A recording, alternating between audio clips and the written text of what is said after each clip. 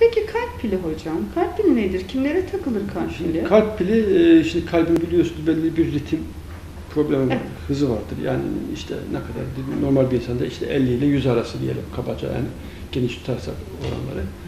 Ee, bazen o kalbin e, bir hızı vardır ve e, kulakçık ve karıncıkla arasında da işte bazı düğümler vardır, istasyonlar vardır diyelim. Bir istasyondan çıkar oraya gelir, bir istasyondan gider başka yere gider. İşte diyelim ki şimdi kulakçıktan çıktı sonra bir istasyona geldi oradan karıncaya geçecek. İşte istasyonda orada hani biraz durur sonra o bir tarafa gider. Ee, ne oluyor? Diyelim ki o istasyonlarda işte problem oldu. Kireçleme oldu, işte damar tıkanıklığı oldu, orası beslenmesi bozuldu. O zaman o ileti oraya geçmez.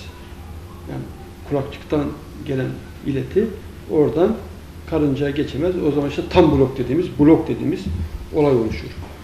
O zaman da işte kalp ne olur? Ee, e, kulakçıdaki ileti oraya geçmediği için o kendisi e, üretir, elektrik üretir ama bunun hızı da düşüktür böyle 30'larda 40'larda falan olur.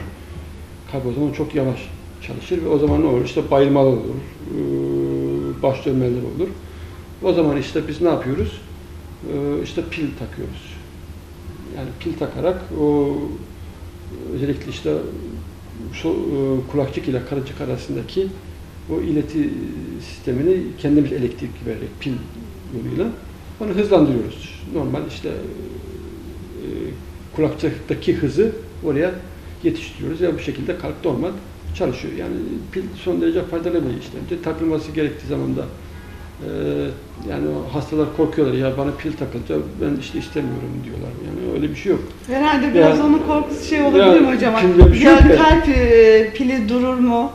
E, hani Durmaz. Durmaz. Yani oraya şimdi takılan pillerin zaten ömrü yaklaşık bir 10 yıl kadar falan sürüyor. Anladım. 10 yıl kadar gidiyor. Ama işte nelere dikkat ediliyor? Şeyden işte uçaklarda hani şeylerden ötüyor Evet. aletler. Oralardan hani geçmemek gerekiyor. Onu zaten onun e, sizde şey oluyor, e, kart oluyor. Ona göstererek geçmeyebiliyorsunuz.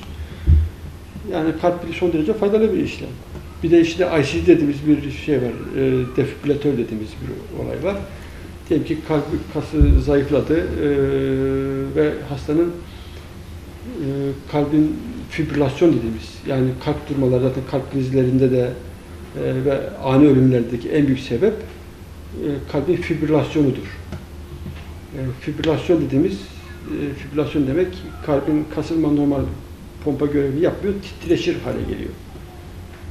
E, kalp krizlerindeki ölüm sebebi de bu ventrikül fibrilasyon dediğimiz olaydır. Bazı kişilerde özellikle işte kalp yetmezliği olan kişilerde, e, kalbi zayıf olan kişilerde de bu risk artar. Bu fibrilasyon riski artar ve işte hasta bir şekilde kalp yetmezliği olan kişi bakarsın bir iki yıl içerisinde bakmışsın aniden ölmüş. Bu sebebi de bu işte fibrilasyon dediğimiz olaydır. İşte bu e, IC dediğimizde o da bir pil görevi görüyor. Pil gibi takıyorsunuz. Bu diyelim ki kalbin elektrik sistemi bozuldu, fibrilasyona girdi. Bu hemen şok veriyor. Hop düzeltiyor. Yani elektroşok uyguluyor Evet. kendisine otomatik olarak. Onu gördüğü zaman. O da son derece bir son derece faydalı bir yöntem. O da son zamanlarda çok yaygın kullanılıyor ve bu ani ölüm risklerini azaltıyor. evet, Onun için hocam. çekinmemek lazım pilden de. Yani doktor hanım çünkü bana çok böyle şikayet geliyor. Ya bana pil dediler ben taktırmak istemiyorum falan. Aslında hiçbir zararı yok.